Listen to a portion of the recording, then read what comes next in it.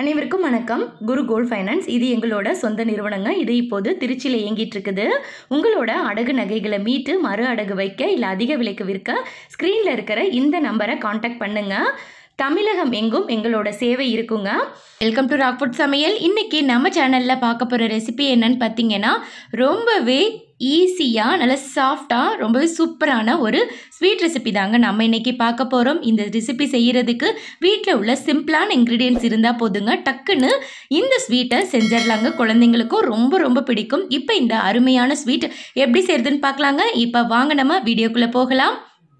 இப்போ இந்த ஸ்வீட் செய்கிறதுக்கு ஃபஸ்ட்டு ஒரு மிக்சிங் பவுல் எடுத்துக்கோங்க. மிக்சிங் பவுலில் மூணு முட்டை நம்ம சேர்த்துக்கலாங்க.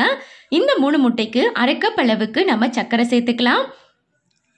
இப்போ சர்க்கரை கூடவே கால் டீஸ்பூன் அளவுக்கு ஏலக்காய் பொடி சேர்த்துக்கலாங்க. ஏலக்காய் பொடியெலாம் சேர்த்ததுக்கப்புறம் இதை வந்து இந்த மாதிரி நல்லா பீட் பண்ணி எடுத்துக்கோங்க. சர்க்கரை எல்லாமே நல்லா கரையணும். சப்போஸ் இந்த மாதிரி பீட்ரு இல்லைன்னா மிக்ஸி ஜாரில் போட்டுட்டு ஒரு ரெண்டு நிமிஷம் நல்லா வந்து அதை கிரைண்ட் பண்ணி எடுத்துக்கோங்க. இப்போ வந்து சர்க்கரை எல்லாமே நல்லா கரைஞ்சிருச்சு. இப்போ இதில் நம்ம ஒரு கப் அளவுக்கு காய்ச்சி ஆற வச்ச பால் சேர்த்துக்கலாங்க. பால் வந்து கொஞ்சம் திக்காக இருக்கிற மாதிரி பார்த்துக்கோங்க.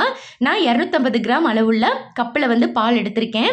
இப்போ இந்த பாலை வந்து அந்த முட்டையோடு சேர்த்து மறுபடியும் நல்லா ஒரு ரெண்டு நிமிஷம் நல்லா பீட் பண்ணிக்கோங்க.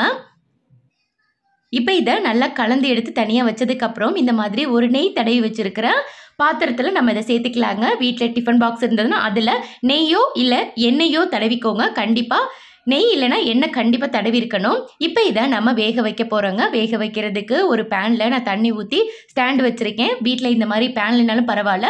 இட்லி பாத்திரம் இல்லை குக்கர் கூட நீங்கள் பயன்படுத்திக்கலாங்க. இப்போ தண்ணி வந்து நல்லா கொதிச்சிட்டு இருக்குது தண்ணி கொதிச்சதுக்கப்புறம் நம்ம ரெடி பண்ணி வச்சுருந்த அந்த பாத்திரத்தை நம்ம இதில் சேர்த்துட்டு இதை கண்டிப்பாக மூடி போட்டு அதுக்கு மேலே ஒரு மூடி போட்டுட்டு இதை வந்து ஒரு முப்பது நிமிஷம் அப்படியே நம்ம வேக வச்சுக்கலாம். பார்த்தீங்கன்னா இது முப்பது நிமிஷம் நல்லா வெந்துருச்சு. இப்போ மூடியை திறந்து பார்க்கலாம் இது எப்படி வெந்திருக்குன்னு பார்க்கலாங்க இப்போ இது வெந்துருச்சான்னு பார்க்குறதுக்கு ஒரு கத்தி எடுத்து இந்த மாதிரி குத்தி பார்த்தீங்கன்னா கத்தியில் ஒட்டாமல் வரணும். இது இப்போ நல்லா பர்ஃபெக்டாக வெந்துருச்சு. இப்போ இதை எடுத்து நல்லா ஆற வச்சுக்கலாங்க.